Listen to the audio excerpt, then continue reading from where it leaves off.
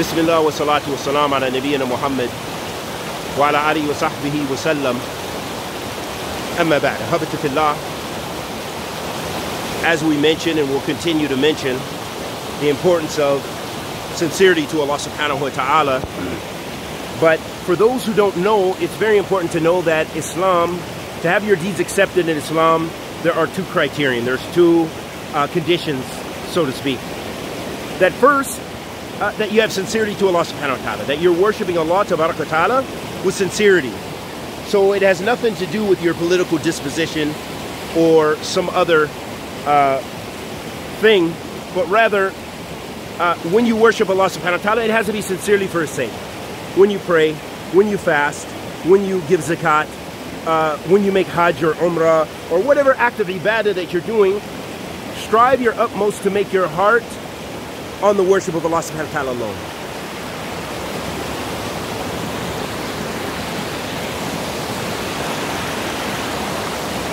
Secondly, ahabatifillah, is that when you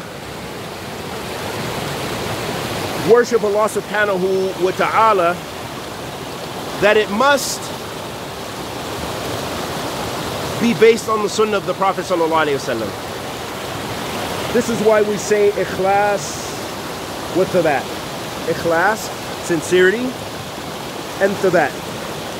Sincerity in your worship, that all of it's directed to Allah subhanahu wa ta'ala, and that it is in accordance with the sunnah of the Prophet sallallahu alayhi wa alihi wasallam. And the purpose of our existence is to worship Allah subhanahu wa ta'ala alone. Allah subhanahu wa ta'ala says, كتاب الكريم وما خلقت الجن والإنس إلا ليعبدون. I've not created mankind in the jinn except for the purpose of worshiping me, meaning the divine purpose we were created for is to worship Allah subhanahu wa ta'ala. And Allah subhanahu wa ta'ala says to Kitab al-Kareem, which lets us know that that ibadah must be sincerely to Allah, which is our first condition, is that Allah subhanahu wa ta'ala says to Kitab al-Kareem, وَمَا أُمِرُوا إِلَّا لِيَعْبُدُوا اللَّهَ مُخْلِصِينَ that Allah subhanahu wa ta'ala says, and they weren't commanded, meaning the nations before us, the Jews and the Christians and others, they weren't commanded except to worship Allah subhanahu wa ta'ala alone with sincerity. Mukhlisin. That they should be mukhlis. They should be completely sincere in their worship of Allah subhanahu wa ta'ala, associating no partners with Him, tabarak wa ta'ala. And that means the awliya, that means the saints, it means the prophets, alayhim afdal salatu wasalam, that we cannot worship anyone. We don't say Muhammad sallallahu alayhi wasallam is the one who brought this rain. Muhammad sallallahu alayhi wasallam is the one who blessed me to have a child. Muhammad sallallahu alayhi wasallam is the one who blesses you with a wife or a husband or your rizq. La. All of this is from Allah subhanahu wa ta'ala. All of the rizq min Allah azza wa jal.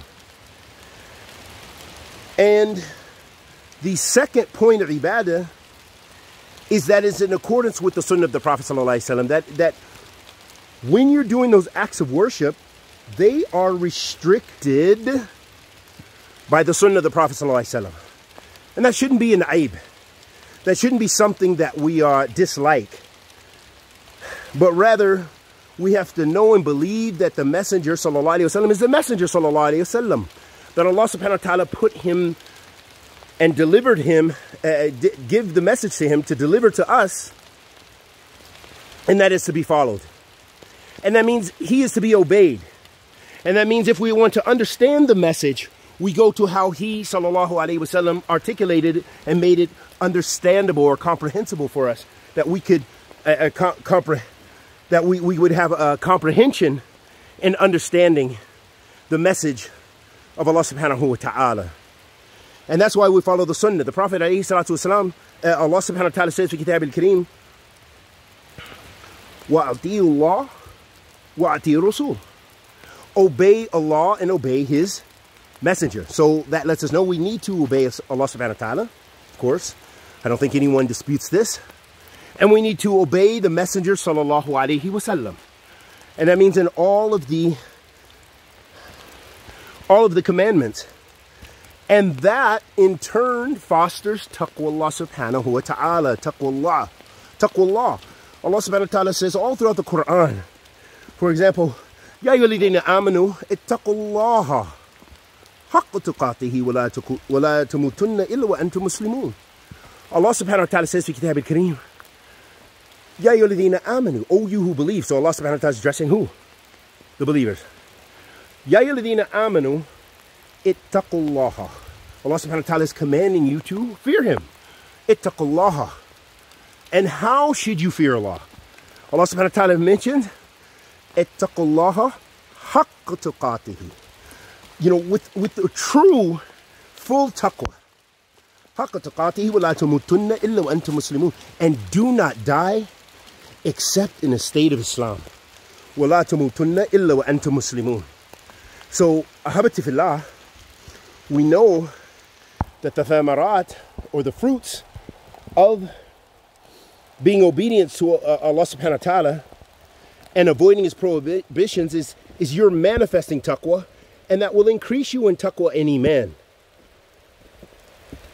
And so this is why it's important to know and understand those principles of worship that is based on sincerity to Allah subhanahu wa ta'ala and it must be done in accordance with the sunnah of the Prophet sallallahu alaihi wasallam and the fruits of that obedience to Allah subhanahu wa ta'ala and obeying the messenger sallallahu alaihi wasallam will be that you have taqwa subhanahu wa ta'ala that you will fear Allah Subhanahu wa ta'ala because you will be following his commandments and avoiding his prohibitions.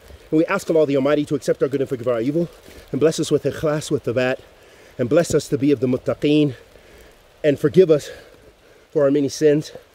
Wa sallallahu wasallam ala muhammad وعلى آله وصحبه وسلم.